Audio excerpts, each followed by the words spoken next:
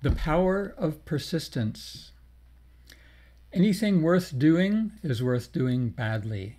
A quote from G.K. Chesterton. In the worst case scenario, a lot of patience and perseverance are required before seeing any results start to manifest. I was a worst case scenario. In my first year of accelerated self healing, I didn't feel fundamentally any different.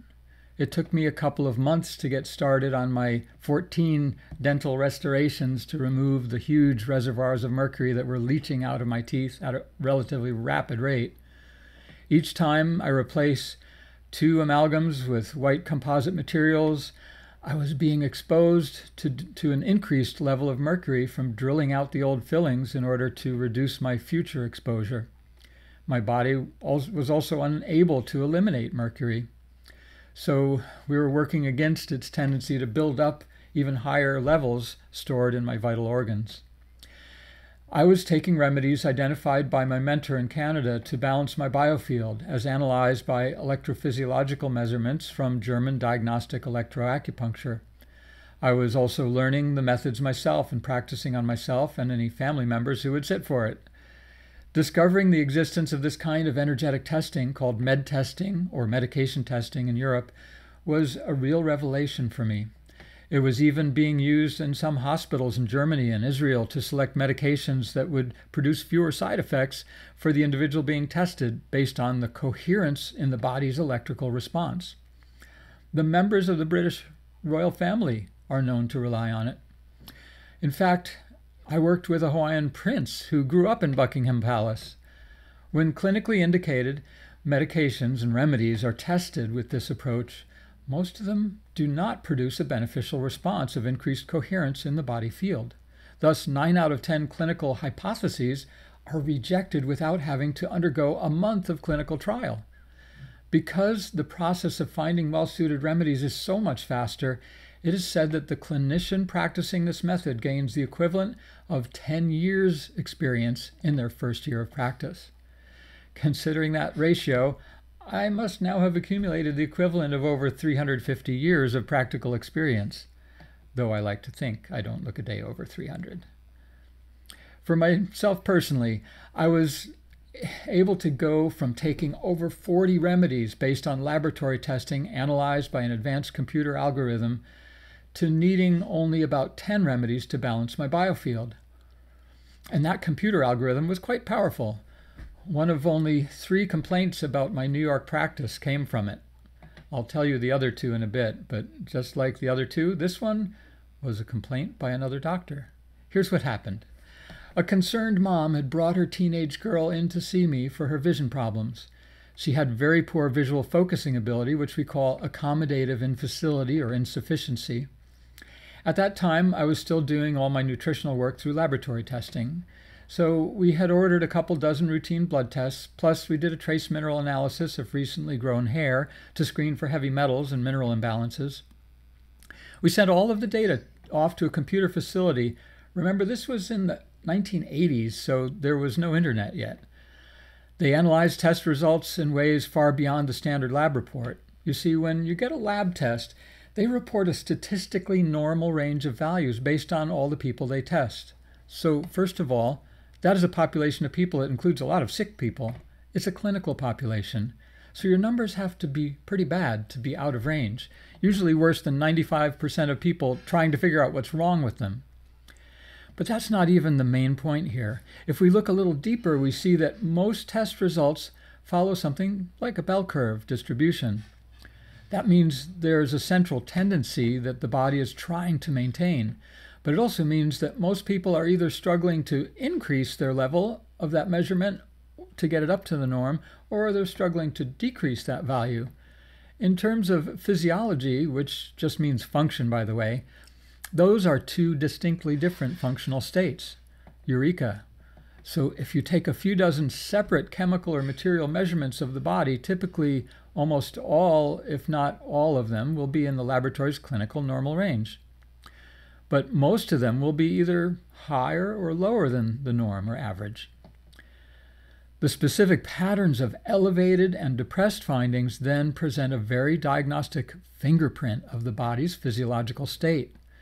In other words, you go to the doctor because you can feel that something is not right. They order a blood test and it comes back normal. So they tell you to come back if it gets worse, and they will test again to see if it's gotten bad enough to show up on the separate tests of material levels that the body is desperately trying to keep balanced. Sound familiar? Well, after a few weeks, between getting the results from the lab, sending them off in the mail, and then getting the analysis back, we learned that this girl's particular pattern correlated with a high risk for acute pancreatitis. She'd never had pancreatitis, thank goodness. So her mom purchased the nutritional supplements that the report found indicated, and off they went. Well, it turned out that the girl was not cooperative at taking the recommended supplements, so they mostly sat in their bottles on the kitchen counter. They might well have done more good had she been willing to take them. We do find that. A few months later, the girl indeed wound up very sick and in the hospital. The diagnosis? You probably guessed it already acute pancreatitis. So a few months later, after she had recovered, the mom was meeting with one of the girl's physicians. The mom was really questioning why none of the other doctors she had taken her daughter to saw the problem coming, especially since Dr. Swartwout did. Who is Dr. Swartwout? They wanted to know since they weren't familiar with the name. She explained that he's the girl's doctor of optometry. Well, you'll have to imagine for yourself the response that got. All I know is that the doctor filed a complaint about me. Yeah, my bad. I made the whole medical profession look bad. In a more perfect world, I would imagine receiving an inquiry about my methods that allowed an accurate prediction of a serious acute illness. But no, New York State was not that perfect world. Instead, the medical board decided that doctors of optometry should definitely not order lab tests anymore. It was an unspecified gray area in the law at the time. I was a licensed doctor, so labs were happy to provide their services to me. There was nothing in the regulations that said they shouldn't. But the letter of the law did not say whether I could or could not order those tests.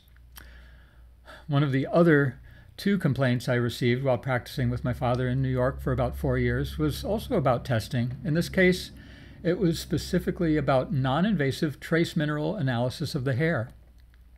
Again, in their wisdom, the New York medical monopoly decided that life for them would be simpler and better if they would just outlaw a non invasive test that they didn't use and couldn't otherwise control. So to this day, our remote clients who live in New York State have to go to a neighboring state if they want to have a hair trace mineral assessment done. My apologies to the people of New York for being such a troublemaker. I certainly never intended to do harm to any of those poor physicians who found my practices to be disconcerting. As one lawyer I know who is also a saint said, I mean none harm, I think none harm. That lawyer is St. Thomas More. The third complaint was considerably more innocuous in its outcome, but I had better share it now or you'll likely conjure something worse. I was learning and implementing methods of what we now call photobiomodulation. For example, I put full spectrum lighting in the clinic. And when half of the front office was changed over, I happened to be pacing back and forth, concentrating on reading a technical article.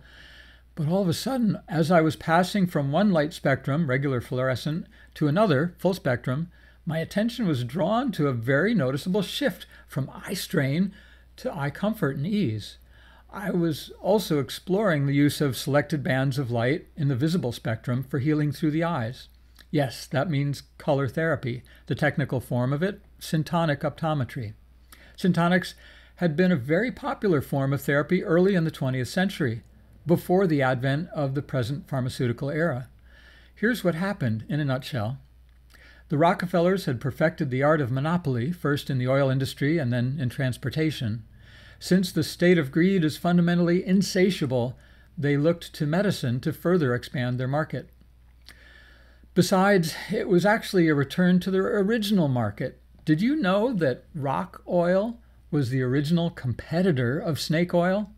And rock oil, petroleum, won the marketing battle for use as medicine, even though we now know that real snake oil is actually the highest known source of essential fatty acids. Today, probably about two thirds of all medicines are derived from pet- petroleum. The other one third still come from plants, like metformin from French lilac. So, how did the Rockefellers take over medicine, resulting in petrochemical pharma now being the most lucrative business on our once green and botanical medicine covered earth? They started along with the Carnegies by funding the Flexner Report. It was a study of the various fields of medicine, all of which were unlicensed and largely unregulated at that time. They were looking for the one approach to medicine that would give them the one thing they most desired from medicine. No, not healing, profit. The winner, of course, was then known as patent medicine. With a patent, you could set your price and eliminate all competition for many years. And as you may know, the Rockefellers considered competition a sin. The competing forms of medicine at that time were many. Patent medicine, also known as allopathic medicine, Allopathic means different disease because treatment with a toxic drug introduces a different disease into the body, which typically suppresses some function that is causing a symptom in the body's attempt to heal itself. Homeopathic medicine was the leading form of medicine at the time and still is on a global scale today. Homeopathy is stimulatory, non toxic, and has no side effects. Botanical medicine uses the medicinal qualities of plants that we have shared this earth with throughout our genetic history. Naturopathic medicine, which relies on nature for healing.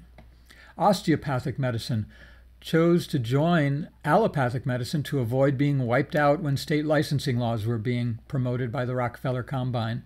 Today they are rediscovering their roots. Eclectic medicine is my favorite. Their philosophy was to consider all of the other methods and select the one most suited for a particular patient or condition. The strategy of the monopolists was to build on the foundation of patent law adding state licensing of physicians to drive out other competing methods of healing, and establishing the FDA to suppress competition and even communication about the healing properties of anything but their approved patent medicines. The most extreme example was when someone suggested that water could be used to treat dehydration. And the FDA actually ruled that to be a drug claim. I'm not kidding. I've seen, for example, a copy of a letter from the FDA telling a company that, quote, there is no mechanism for evaluation of non toxic cancer therapies. You see, the drug in this case was a derivative of the herb Chelidonium majus, or celandine, and it had already been approved to treat cancer in other countries. The problem was that it's non toxic. That's why you'll never see a non toxic chemotherapy approved to treat cancer in the States. Even though there are over 100 cancer cures documented in the medical and scientific literature, it's a sick system. Don't get me wrong, there are times that our medical system is the best place in the world to have access to, like major trauma. And many of the diagnostic capabilities are wonderful. Just watch out for the invasive diagnostic procedures. Ask yourself how will I treat myself differently based on the information from this procedure? Now, back to color and light therapy. So, way back when, the FDA made it illegal to ship color therapy books and instruments across state lines. Yep, you're, you're safe. that regulation is officially still on the books, last I heard. Your tax dollars hard at work keeping color out of the gray suited world of pharmaceuticals. So, from the time that thousands of eye doctors used color to heal the eyes and vision, to the time that hardly anyone even remembered that there was once a College of Syntonic Optometry based in Ohio, it only took a generation. When Doctor of Optometry Raymond Gottlieb, OD, FCOVD, PhD, FCSO, was researching for his PhD, he came across some references to syntonics and began a process of intellectual archaeology what he discovered was a couple practitioners in small Midwestern towns who never got the message that light officially doesn't work anymore. In fact, the people in their towns didn't realize it either. Even the light itself seemed to be ignoring the new edict from on high. When someone new moved to the town and complained of a sinus headache, instead of pointing out the location of the town's pharmacy, the neighbors would simply let them know that they should go to the local eye doctor and look at the blue green light. Problem solved. So, when I was researching how this rediscovered modality of photobiomodulation could help heal vision and eye health issues, I was also fascinated with the new research coming out on seasonal affective disorder, SAD not to be confused with the other SAD, the Standard American Diet. I had reprinted an article about full spectrum light therapy for seasonal depression and had a few copies in my exam room to share with patients. A patient came to me who recounted her medical history of depression and the medication she was prescribed on and off as needed. I inquired if the depression tended to be worse in the winter. She seemed impressed with the question and said, as a matter of fact, it was. I told her of the research that was being done in psychiatry and gave her the article reprint so she could be informed about the latest advances in science and medicine that were quite relevant to her personal health. I proceeded to treat her for her visual situation without suggesting that she should even consider changing anything about her medication or how she was handling her pattern of depression. But when she shared the article with her psychiatrist, he apparently felt that I had stepped on his toes. He actually filed a claim that I was practicing medicine. The claim was rejected. I wasn't practicing medicine. I still don't. I do teach people about healing, though, especially about how you can heal yourself and do it faster than the damage is occurring in most cases. In my case, once I had removed all of the amalgam from my teeth, I found that my body was ready to receive indigo light.